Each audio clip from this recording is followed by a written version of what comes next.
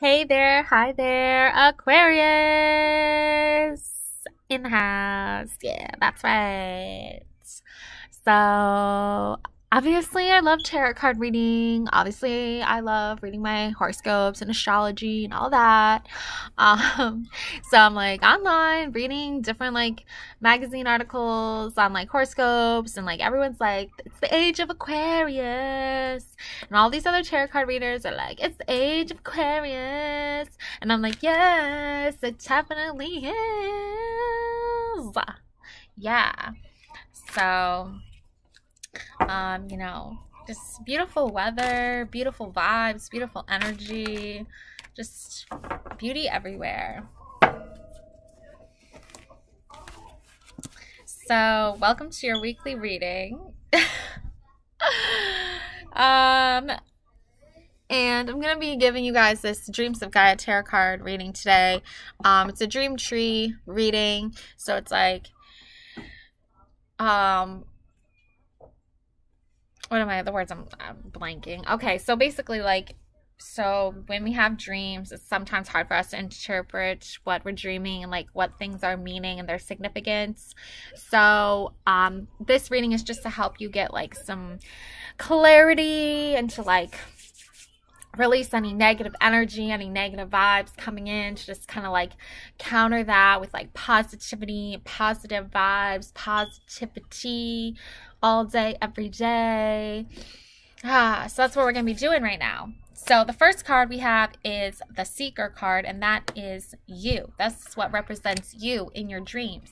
We have knowledge.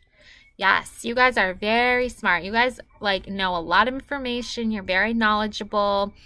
Um, wow, you guys are just very like. No wonder everyone keeps saying Age of Aquarius because you guys know what's that what's up with what.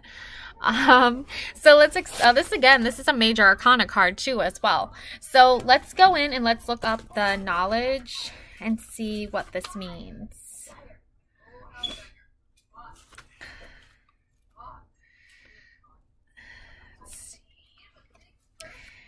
Skills, understanding, training, education, and practical experience. Does bias and unfounded prejudice close you to new knowledge? Improve upon the knowledge that you have. Where is your knowledge taking you? Does what you are learning now serve a practical purpose? Create a better future by continuing your studies. The knowledge card represents the first of eight primary reasons for being the acquisition of knowledge. Surround yourself with books and information. We win in our physical forms, exist to learn as we learn to exist. Knowledge is power, and without it, we are powerless. It is knowledge that enables you to learn a living. Yeah, you guys are really really just learning to exist, like existing to learn. Knowledge is power. Then we have the second card, the Ace of Earth. This makes a lot of sense because you guys, you guys are very smart and you guys have a lot of knowledge and you're getting what's going on right now. And this Ace of Earth is here to say, like, you're right. What you know, what you're learning, what you're doing, what path you're on is the right path and you have the Ace of Earth card. This is the current mood or energy of your environment. So good environment, good energy here with the Ace of Earth card. New beginnings, goals, motivation, um, starting a new new financial or career opportunity. This could be where the knowledge comes in because you guys are learning about a new job that you're already like very skilled at but like this is still new for you. A new beginning founded in practicality and pragmatism. This is the energy of the ace of earth. It is time to be grounded in your approach and seek tangible outcomes that meet your desires. Um, the second branch is a possible strength or weakness that may impact upon the present. Oh, the Ten of Fire. Okay, so somebody here uh, has a major chakra alignment, major third eye alignment. Wow, they're just like shining bright like a diamond. Shine bright like a diamond. That Rihanna song that I absolutely love. I love Rihanna. I love that song. I want to listen to that song after this reading. Okay, so the Ten of Diamonds. Okay, so let's see here. This is uh or not ten of diamonds. Oh my god, just a ten of diamonds. God, you guys must be getting some diamonds or something. Um, so this is the ten of fire, 253. You guys are the diamond. You guys are the bright shining diamond. 253.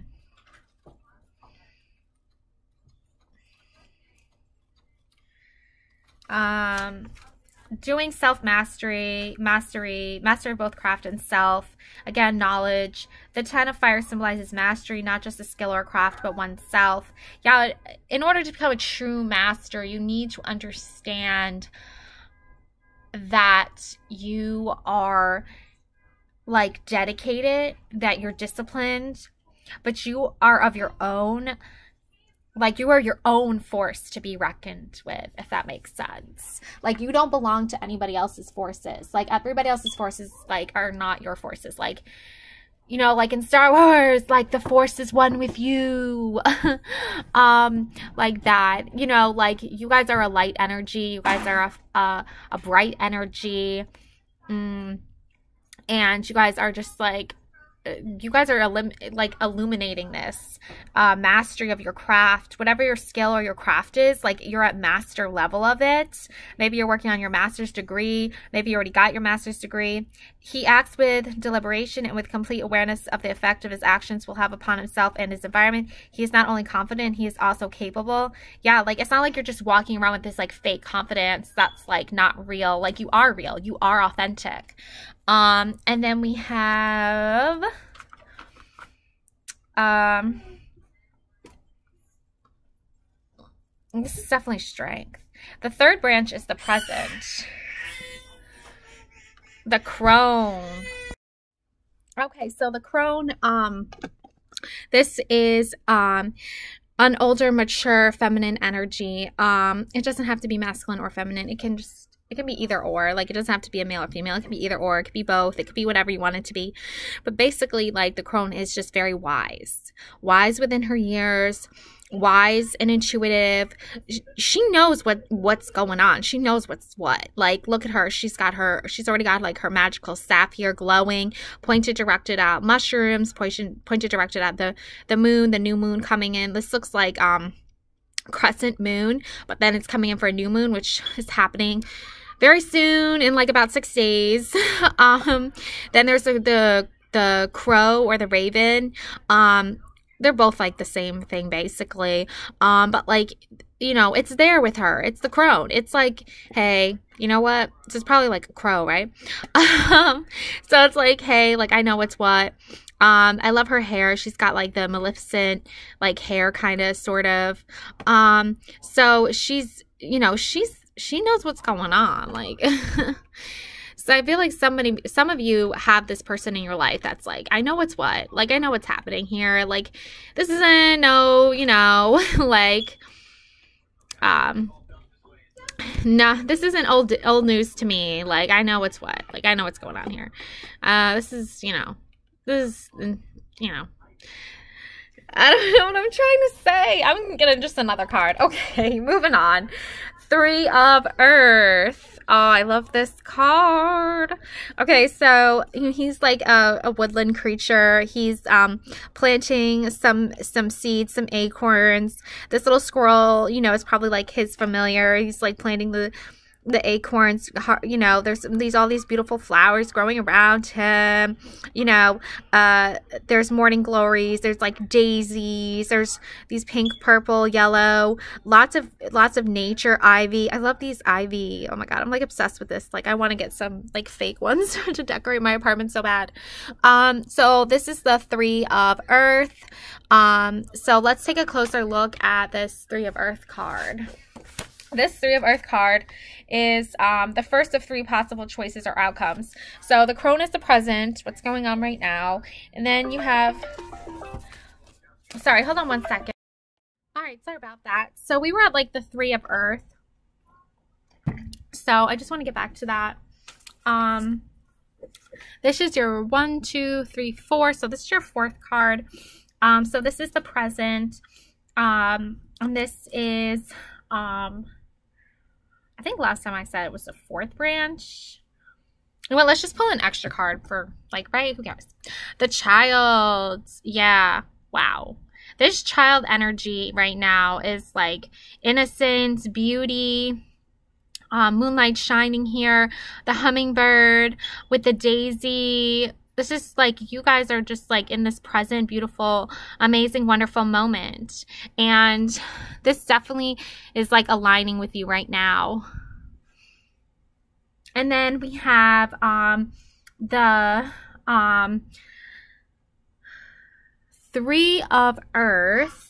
And this is the first of three choices or possible courses of action for the present or future. And this is the three of earth card.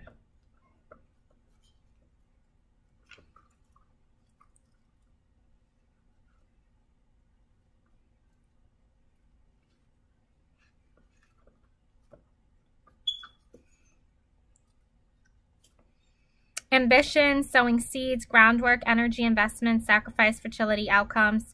Time to make preparations, risking future goals and ambitions. Investments, sacrifices equals reward. A time of restriction or adver- adversity, increased opportunity. The Three of Earth represents a time of preparation. It's the time to sow the seeds born of thought, need, and desire in fertile soil and do what is required in order to make those seeds grow. It is time for you to do the necessary groundwork. Remember, the outcome can only be equal to the investment you are willing to make in here and now. The Three of Earth can also symbolize a time of sacrifice in the weeks and months ahead. All right, I don't see you guys making like I don't see you guys like needing to make sacrifices in the sense of like giving something up. I just see you guys having more offered to you guys in the future. Um, we have masculine and feminine energy here. Um, this is see, fire. Hmm.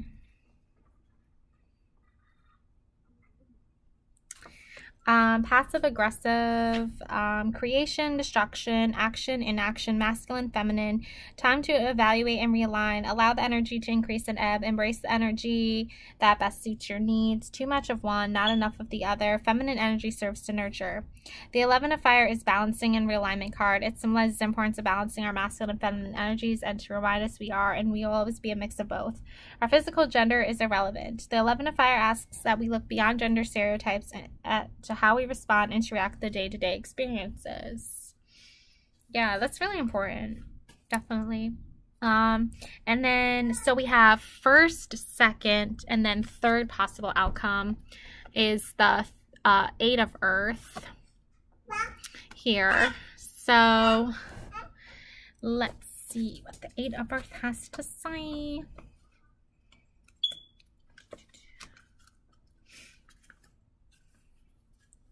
172.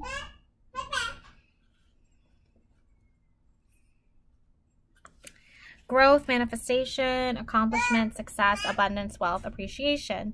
Success, wealth, and love. Do what you love. Love what you do. Make plans for the future. A time of abundance ahead. Confidence in a future outcome. Do not rest on your laurels. Money does not buy happiness. Lose the lack mentality. The Eight of Earth symbolizes success, wealth, and love. The manifestations of a positive attitude. Doing what you love and loving what you do. This is a very optimistic card. Uh, one that suggests a time of abundance, fruitfulness, and a good harvest ahead. A peaceful, happy home, career, confidence, respect of your peers. What more could you ask for? All of the seeds born of past planting are growing well, and you can be confident that the outcome you need will manifest. This can also be a good time to think about taking the next big leap. Rather than resting on your laurels, you have it within you to go further and reach greater heights if you so desire, especially if you remain committed to doing everything in the best of your ability. Yeah, so Aquarius, you guys have a lot of potential. You guys have a lot of abundance. You have a lot of abilities. And I see that coming here into fruition here. You are planting the seeds to grow into this beautiful wonderful energy um, masculine or feminine you're you are very sure of what you're doing you're very um, positive that what you're doing is the right thing to do and that is true it is the right thing to do what you're what you're working on is really important like don't let anybody sidetrack you um then we have the next um, few weeks ahead, the two of earth. You have the two of earth, the three of earth, and the eight of earth. That's so funny. If you guys get the Seven of Earth next, I'm gonna die. Oh, I had to do it. Nine of Earth. Awesome. So you guys have the Nine of Earth. I really look at these like three cards here. This card, this card, and then this card. I feel like they're all like Earth sisters, like of the Queen of Earth. Like the Queen of Earth is their mother, but then like they have three sisters. Um, so this is the next few weeks ahead is the Two of Earth card. Okay. And this is balancing, alignment, balancing, love, prosperity coming in. If you're doing too much, you could be trying to juggle a lot of things at once. But the Two of Earth, um, like goddess, is like here to be like, you know what, don't try to do too much. Like try to like, you know, unburden yourself here. And then we have the Nine of Earth, um, this is someone or something from the present that may have influence. Yeah, she's like, you know, hand over your burdens. Like, don't be holding back here. Let release anything, and you can hand it over to me. Like, come on now, Aquarius. Like, we got this. We got this. We're we're gonna do okay here. You're gonna do all right here. Um, you know, and she's holding this bowl right here, right, for you to just like hand over your problems, right? Um, then we have someone or something from the past that may have influence. This is the past. This is self. So yourself might be having some hardships right now. Um, so yourself might be having some hardships right now. Like I see that you're like you're trying to align yourself here. Like you have these three doves above you, you have these two dragons either side of you. You're trying to align your heart chakra, your hand chakras, receiving and giving love um, your self love, self taking care of yourself. And then we have your subconscious feelings and thoughts. Um, so yes, so, so this is your subconscious feelings and thoughts. It makes a lot of sense because like look at all this power here, right? Your fingers, your right here, the lotus flower, your hands are attached with this dagger. Um, somebody might have hurt you in the past. It might be having a hold on you, but this is just all about like um like endless universes, endless possibilities um, that you have coming in for you, uh, Aquarius. So endless possibilities here, Aquarius. And then your final card is the next few months ahead, and this is healing.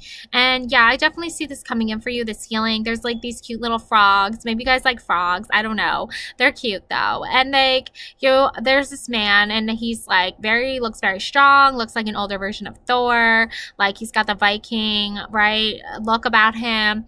Um, you know, he could be a, a god, a Thor god, a god of like that uh, Viking mythology and so forth, you know, because you do have like this Celtic right symbol here. Um, and then, you know, these frogs, they're like, they like him. They're like, oh, what you doing? Like, what you up to? He's there for healing. He's there for clarity. He's there to help you. Um, let's take a, like, a deeper look here at the healing card. Again, another major arcana here.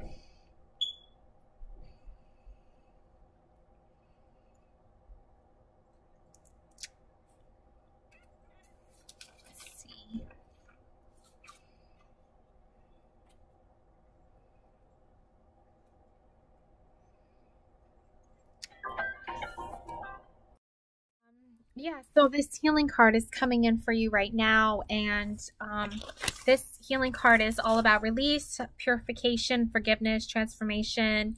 Um, do what's necessary to increase well being. You need to forgive, find the source of disease and distress, nurture passions and seek pleasure, let go of definitions and labels, a time to connect body, mind, spirit, and soul. The healing card illustrates our third reason for being. However, it covers healing on several levels and does not necessarily suggest or imply that you would you are wounded or in need of healing, at least on a conscious level.